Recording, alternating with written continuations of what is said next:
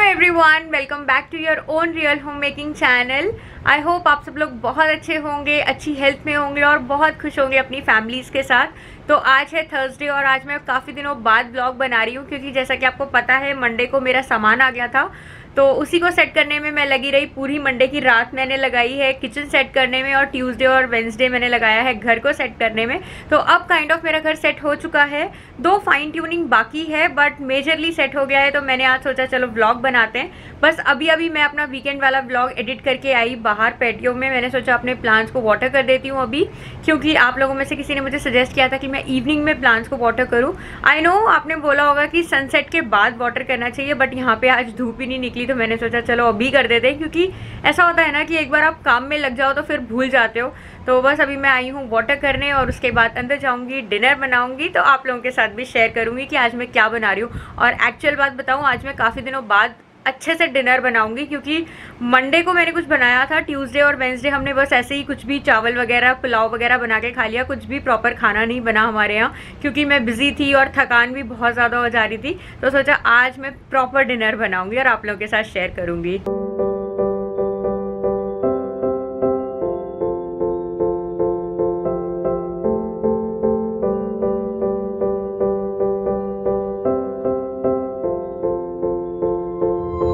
प्याज, बेसन और सोयाबीन की भुर्जी बना रही हूँ। सोयाबीन की भुर्जी ना मेरी मम्मी बहुत अच्छी बनाती थी। हम लोग बहुत खाते थे। बट समहाउ यहाँ आने के बाद मैंने कभी भी नहीं बनाई। सो फ़र्स्ट टाइम जब मैं इस बार इंडियन ग्रोसरी स्टोर गई तो मैंने वहाँ पे सोयाबीन चूरा रखा देखा। तो मैंने सोचा, चलो मैं ले लेती हूँ और घर जाके इसकी भुर्जी बनाऊँगी। बहुत सिंपल होती है, लेकिन बहुत डिलिशियस बनती है एंड रिच इन प्रोटीन होती है।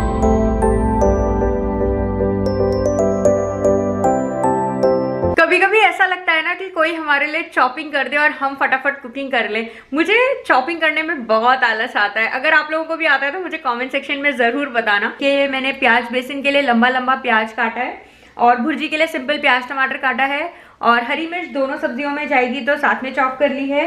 ये अदरक और लहसुन मैंने ग्रेट करा है और ये प्याज बेसन बनाने के लिए बेसन मैंने दो चम्मच लिया था और उसमें करीब साढ़े चार चम्मच दही अच्छे से मिक्स कर लिया है। मैं ये न्यूट्रेला का सोया ग्रैनुअल्स यूज़ कर रही हूँ और आज मैं सिर्फ़ एक कटोरी बना रही हूँ क्योंकि मुझे नहीं पता कि अंशुल को ये पसंद आएगा या नहीं।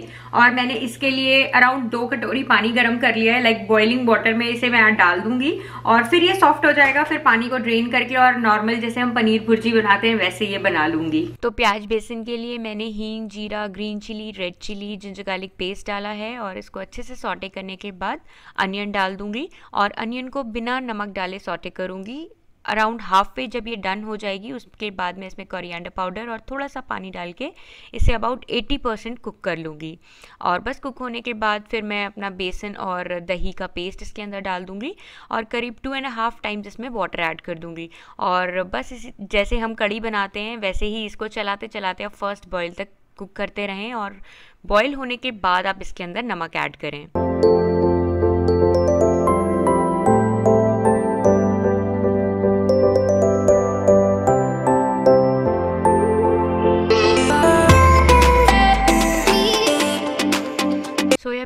तो बहुत ही बेसिक सब्ज़ी है। मैंने बस घी में थोड़ा सा हींग, जीरे का तड़का लगाया है। ग्रीन चिली डाली है जिंजर गार्लिक पेस्ट जो कि ऑप्शनल होता है और उसके बाद प्याज को भून लूँगी थोड़ा सा नमक डाल के। उसके बाद टमाटर ऐड कर दूँगी और वो भी भुनने के बाद इसमें मैं कोरिएंडर पाउडर किचन किंग मसाला डाल दूँगी और फिर अपना सोया चूरा इसमें डाल दूँगी और बस थोड़ा सा मिक्स करने के बाद आपकी भुर्जी बिल्कुल रेडी हो जाएगी।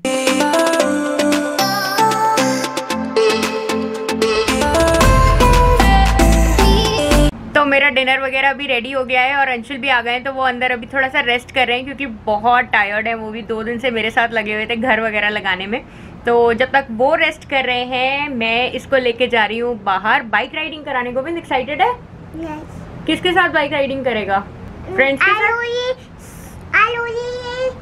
के साथ। ओके okay, उसकी न्यू फ्रेंड बनी है आरोही तो उसके साथ वो बाइक राइडिंग करने जा रहा है और हम लोग शॉर्टकट ले रहे हैं पैटियो से ही निकल के फटाफट जाएँगे टेनिस कोर्ट जहाँ पे इसके सारे फ्रेंड्स खेल रहे हैं। Right Govind Govind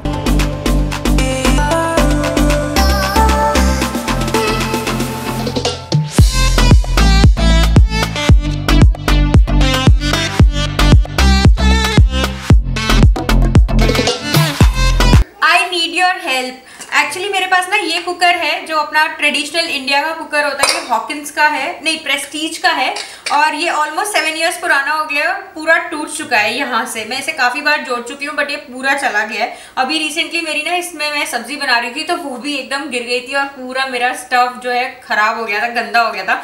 so I am thinking कि मैं एक ऐसा ही कुकर लूँ या फिर इंस्टा पॉट लूँ, क्योंकि मैंने इंस्टा पॉट यूज़ नहीं किया but I have heard a lot of good reviews about it but I am not sure कि उसमें इंडियन कुकिंग हो पाती है या नहीं। अगर आप में से किसी ने यूज़ किया है तो मुझे ज़रूर सजेस्ट करिएगा कि मैं ऐसा वाला कुकर ही लूँ या इंस्टा पॉट लूँ उसमें इंडियन कुकिंग हो पाती है या नहीं?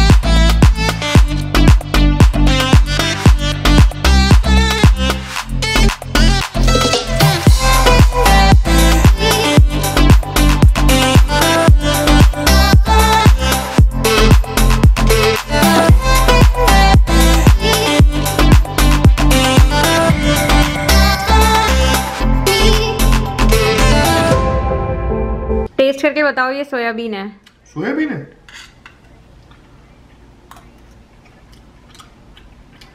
लग नहीं रहा सोयाबीन है लग रहा पनीर है। यमी लग रहा है। बहुत- अच्छी बनी है। प्याज बेसन? प्याज बेसन में थोड़ी सी ना लाल मिर्च ज़्यादा हो गई तो टेस्ट करके बताओ थोड़ी ज़्यादा स्पाइसी लग रही है या नॉर्मल लग रही है? स्पाइसी अच्छी लगती है टेस्ट करता हूँ। मैंने इसमें थोड़ा सा नींबू डाल दिया बैलेंस आउट करने के लिए। मज़ा आ गया बहुत अच्छी लग रही है।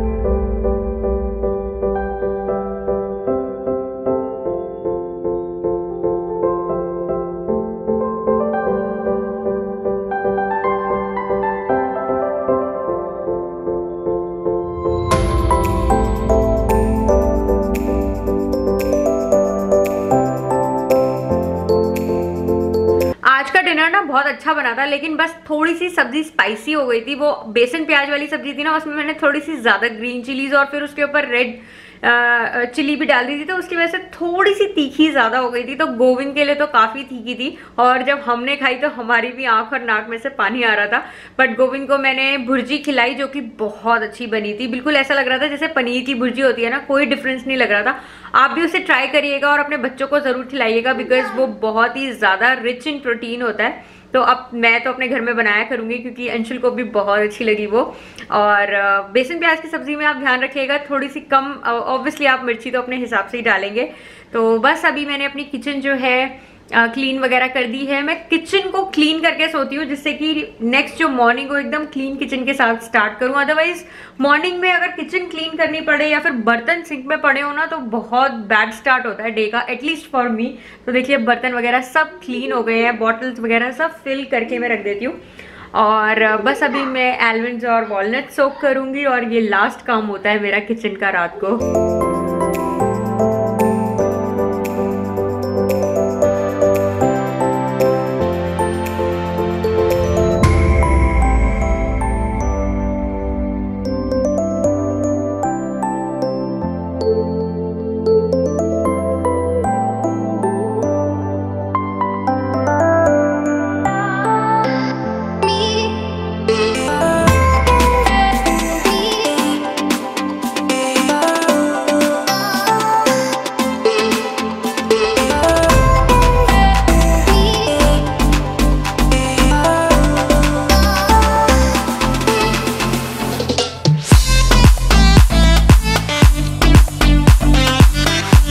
तो बस अभी मैंने नाइट टाइम स्किन केयर मेरा रूटीन जो था वो बहुत ही सिंपल होता है। मॉइस्चराइजर और बाल बनाना, वो सब हो गया है। मैंने कपड़े भी चेंज कर लिए लूज टी शर्ट पहनी है जिससे कि सोने में आराम रहता है।